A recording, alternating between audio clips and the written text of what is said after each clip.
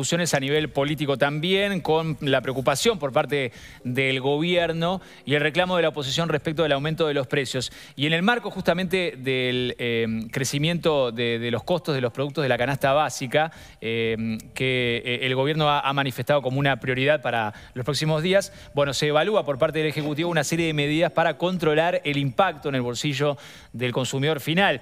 Recordemos que hace algunos días, la semana pasada, el Poder Ejecutivo aprobó la reducción del IVA en la tira de asado y se llegó a un acuerdo con productores para congelar el precio de los huevos. Ahora, según informó el diario El País, el gobierno evalúa eliminar el IVA básico a los aceites, las harinas y los derivados, para conocer cómo ha impactado el aumento de los precios en los comercios y qué medidas serían necesarias para los comerciantes eh, a corto plazo para eh, hacer frente a esta, a suba de, de, los precios. Bueno, vamos a hablar en los próximos minutos con Daniel Fernández, presidente de Cambado, el Centro de Almaceneros Minoristas Baristas autoservicistas y afines del Uruguay que nos acompaña esta mañana aquí en nuestro programa. Bienvenido una vez más, Fernández. Gracias por acompañarnos. Muy amable. Bienvenido. Bienvenido. Bueno, ¿cómo está evaluando estas medidas, estos acuerdos concretos que está eh, tomando el gobierno, que ha alcanzado el gobierno y las negociaciones que se están dando? ¿Tiene alguna información? ¿Han hablado con ustedes? ¿Cuál es su expectativa?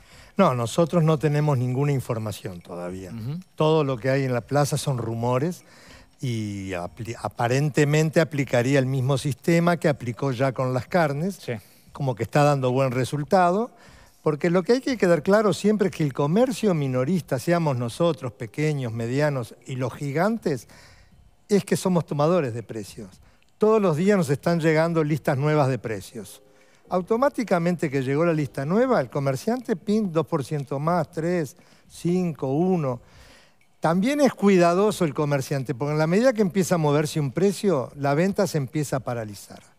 Hace muchos años que no tenemos segundas marcas. Van a empezar a aparecer porque las primeras marcas, con un costo elevado por su calidad de producto, por su buen envase, por sus campañas publicitarias, tienen un costo mayor. Te largan segundas marcas que son muy buenos productos, pero sin las campañas publicitarias, sin esos envases tan elegantes. Pero de momento estamos esperando a ver qué medidas toma el gobierno. ¿A ustedes cómo los ha afectado la inflación y este aumento este, tan, tan este, marcado, no tan pronunciado en los últimos tiempos de, precios? Yo no diría tan marcado. Estamos subiendo todo todos los días, pero cositas chiquititas, chiquititas. Fíjate que todavía hoy supuestamente estamos en el 8% anualizado de inflación que es una cifra que llevamos hace años ya. Ahora, de continuar así, romperíamos los dos dígitos. Lo que, lo que pasa que ahí también se juntan dos cosas. La, inflación en niveles que es verdad que no son tan distintos a los que hemos tenido en las últimas décadas, pero con un salario que eh, en términos este, reales está por debajo y, en los últimos años venía creciendo. ¿no? Bueno, esperemos, tal como había prometido el gobierno, que iba a actualizar salarios. No se puede correr de atrás. Correr de atrás muy cerquita, bueno, pero si nos vamos alejando, alejando, la inflación nos come, mm. que es el peor impuesto, es lo peor que nos puede pasar. Si estos aumentos de gasolina que están hablando se producen, automáticamente se trasladan mañana mismo al mínimo producto, desde una cebolla a un litro de leche, a lo que sea, porque el país se mueve a través del combustible. Es de un día para el otro, ni siquiera ah, sí, eso margen. inmediatamente. ¿Y ustedes los comerciantes tienen algún margen como para, eh, ustedes claramente este, son tomadores de precios como usted bien decía, ¿tienen algún margen para no este, aumentar tanto los precios y seguir este, para ustedes generando cierta ganancia o, es difícil eso en, la coyuntura? Es muy difícil, no en la coyuntura, sino históricamente, porque la canasta básica, los márgenes son mínimos, pero mínimos mínimos porque es lo masivo, lo que se vende, y no te da para subir, porque también hay una gran competencia en ese producto. Entonces, ¿podrá hacer lentecer la suba? Una semana, 15 días. Un enorme, un gran, gigantesco comercio lo podrá aguantar. Pero supermercado, Pero después no lo aguanta nadie. ¿Y cuál sería para ustedes entonces la, medida más ajustada o, lo mejor que el gobierno podría podría resolver para tratar de, no trasladar a la población? Y lo más directo y lo que inmediatamente tendría repercusión es la baja impositiva. El IVA. No hay otra. O sea que lo que se está hablando y lo que se hizo con el asado, por ejemplo, de quitar el IVA, eso sería para ustedes. Sería la, la inmediata, porque si no las otras que son, hablar con la industria y con los importadores que no suban, que enlantezcan la suba. Bueno, la podrán sostener unos días, un mes, porque también vienen corriendo todos los costos.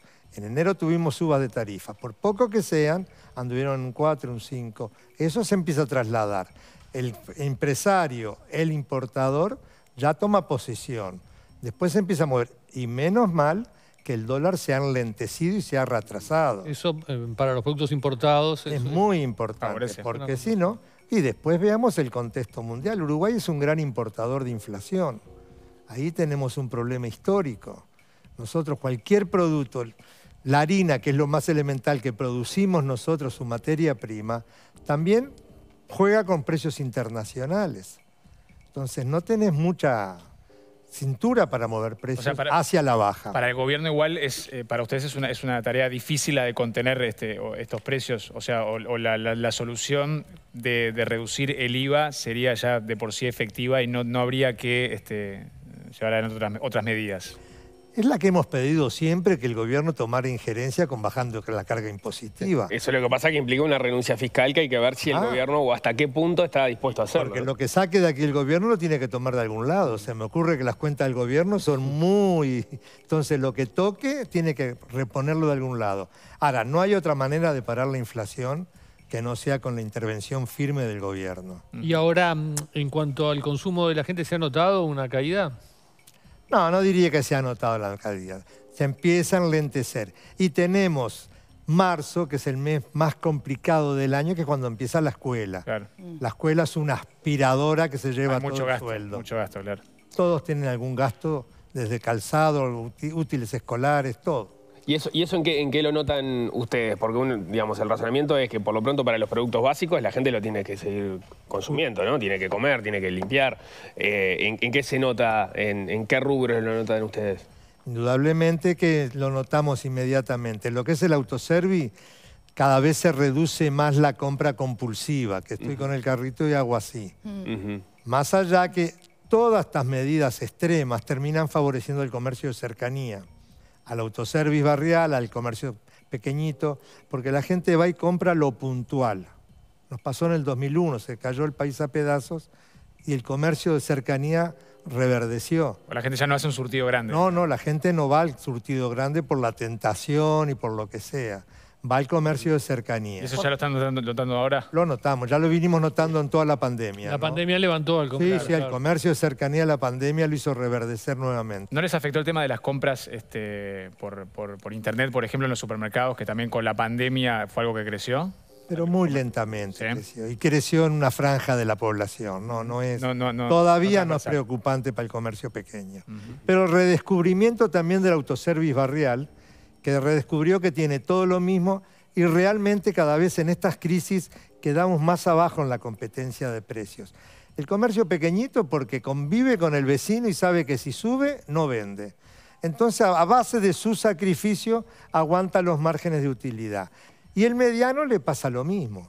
En la medida que subí los precios de algo, inmediatamente. Lo más notorio fue en el 2001, fueron la, la aparición de nuevas colas, bebidas que se conocían las marcas y que se impusieron por un tiempo. Eso es lo que ustedes llaman segundas marcas. Segundas marcas, eran mucho más baratas que el mucho más baratas. originales, digamos. Hoy por hoy las primeras marcas están top.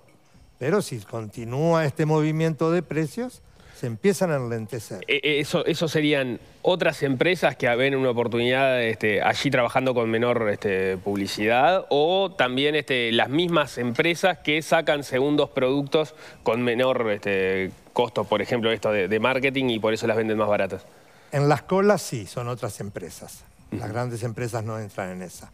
Ahora, el resto de todos, todos vemos, vamos a comprar un detergente y está la primera marca que todos vemos las campañas publicitarias y hay dos, tres detergentes similares hasta el envase, pero no son conocidas sus marcas y tienen un precio más competitivo. Bueno, con los lácteos sucede eso también, ¿no? Los lácteos, los lácteos tuvieron una suba tremenda estos días. También subieron los lácteos internacionalmente. Ahí, este, respecto a la suba de precios, usted mencionaba el- cómo juega el, combustible que se traslada directamente. Una discusión que se dio en las últimas semanas, bueno, en los últimos meses, en realidad, a partir de, la LUC, es estamos con un sistema que supuestamente, si en algún momento empieza a bajar el petróleo, eventualmente va a bajar el precio de los combustibles. Pero se señalaba, bueno, que en realidad cuando se traslada a los productos, lo que sube en, en la góndola o lo que sube en el almacén, después ese precio no vuelve a bajar. ¿Usted cómo, cómo ve eso? Bueno, primero no hemos tenido bajas del combustible. Sí. Siempre fueron arriba, arriba, arriba y cada vez con márgenes mayores. Fíjate tú que están hablando como barato, cinco pesos. Es un disparate. Todo el- imagínate, de la leche que hablábamos, del productor que la produce, se la ordeña la vaca y ya la trabaja con energía, mantiene las cámaras de frío con energía, el camión que la transporta ya automáticamente esa cadena sube. Cuando empiecen a bajar veremos. El comerciante lo que quiere es vender, porque en eso va su vida. Si le bajan dos pesos, lo bajará. Si bajan, cuando pasó el COFIS hace años, que fue un 2%, nadie lo toca un precio por el 2%. Hoy estamos hablando de un 10%, ya es notorio. Si sube o si baja, dice usted. Si sube o si baja, pero Ajá, si sacan el IVA, inmediatamente Va a bajar. se va a ver. En la, en la góndola se va a pero ver. lo que usted dice, ¿no? Hacer una quita pequeña de impuestos, que le- para el Estado es una renuncia fiscal y que no se noten los precios sería la peor jugada de todas, digamos, porque no, No, habría pero ni- tam- habría también solo tiene, tiene formas de controlarlo el gobierno ahí, ¿no? Lo que valía 100 eran 110, ahora volvió a costarte 100 solo, no me cobres sobre 110 el costo. Claro, pero no Vendémelo tú Tampoco es 115. obligatorio que lo bajen, ¿no? O sea, No es obligatorio, pero su mercado se va a empobrecer. La gente hay precios que lo sabemos todos. Claro. No son muchos los que sabemos. Uno, uno retiene cuatro o cinco precios nada más. Pero los esenciales de todos los días lo sabemos. Pero el gobierno cómo tiene, qué, qué capacidad tiene para controlar eso también, porque el gobierno ah, ya, ya ha- señalado que no va a ir hacia una política de control de precios. No, no, no funciona eso. Históricamente eso. nunca funcionó. La medida es que cuando salgan los precios en la prensa, tarifados o no tarifados, que la harina bajó 10 pesos, su costo, o 5 de IVA, se va a ver reflejado. ¿Que habrá alguno que no lo rebajará? Sí, es posible. Y tampoco hay una penalización una No hay para una ese que, no- que no lo rebaje. No por lo eso hay. digo. No, La hay del penalización La gente no público. comprará, claro, la gente no La comprará. hay del ciudadano que va a comprar. Claro. O sea, hoy todos saben que el asado vale 230 pesos. Yo no sé si de buena, mediana o cal- mala calidad, pero el que va a la, la carnicería exige. No, ¿para qué dijeron 230 pesos? ¿Cómo me vas a cobrar Claro. más? Le podrá dar las explicaciones el señor carnicero, ¿no? Pero hoy todos sabemos ese precio. Y usted, volviendo al tema de los combustibles que usted mencionaba, ¿no? ¿Cómo los ha afectado a, lo- a los comerciantes eh, el nuevo sistema que usted, usted decía recién, hasta ahora no ha habido bajas, ha habido subas, y- o este, que el precio no, no se haya tocado algún mes? Y esa es la razón de que recibamos pre- precios- listas nuevas de precios más asiduamente. Porque el que marca el precio es el importador y el fabricante. O sea, todos los meses ustedes tienen listas nuevas, que antes no, no les pasaba. Y más o menos. Más o menos, si no son todos los meses, son 40 días, 28, según el producto. Y se nota ese aumento, perdón, se nota, Se sí, se- Ah. usted Tú contenés una lista, dos, pero la tercera tenés que subirla. Recién decía que no habían hablado con el gobierno en estos días. Eh, ¿Ustedes esperan que, que el gobierno los convoque como para tener alguna reunión y poder hablar de este tema? Es lo que dijeron, que iban a convocar a las, a las partes, industria, importador, grandes supermercados. Nosotros no sabemos nada. De repente mañana dicen se bajó el IVA y no tienen por qué llamar a nadie, ¿no? ¿Cómo está el tema del empleo en el sector? Eh, había caído con la pandemia, se recuperó totalmente. Para nosotros lo que representamos se cayó mucho en la gastronomía, autoservice, comercios barriales.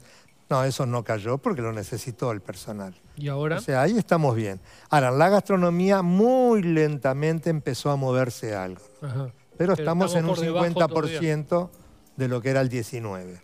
Eh, Fernández, y- ¿50%? Sí, sí, sí. ¿Y esa gente está en seguro de paro o desapareció? Tenemos gente en el seguro de paro. Nadie ha echado porque echar un empleado sale muy costoso. Entonces, muchas empresas están con el personal en seguro de paro y están funcionando muy reducidas.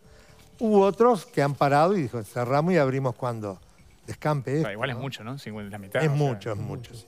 Las ventas de gastronomía se mueven bien los fines de semana, pero de lunes a jueves están empobrecidos. ¿Pero hay empresas que, haya- que hayan cerrado y no hayan vuelto a abrir o eso, eso dice que no? Todavía no tenemos información que hayan cerrado definitivamente, ¿no?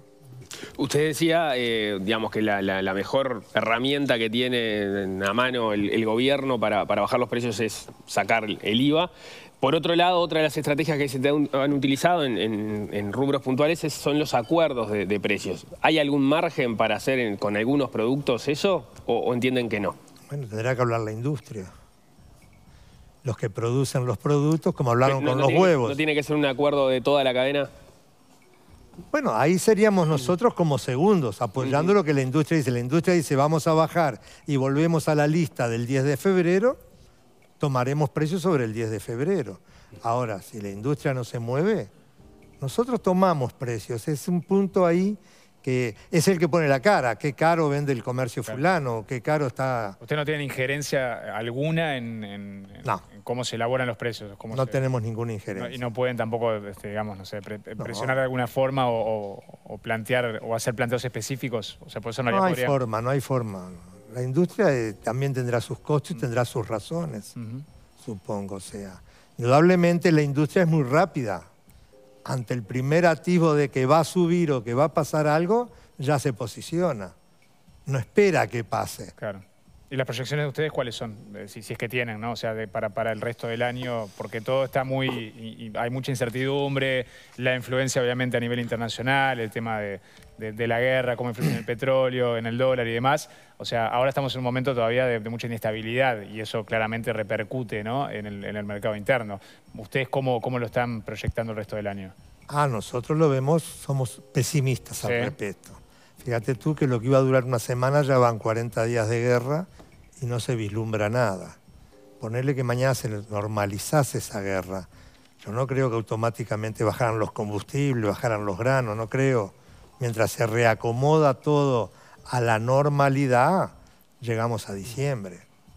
No soy técnico, ni especialista, ni economista, pero la vemos por ese lado. Y en ese sentido, este, en, esto que, les preguntaba Paula de los contactos con el gobierno, ustedes no van a plantear específicamente ninguna, o sea, están esperando que los, que los convoquen, no van, a, plantear por ahora ninguna reunión, ningún, pedido de, medidas más allá de esto del IVA.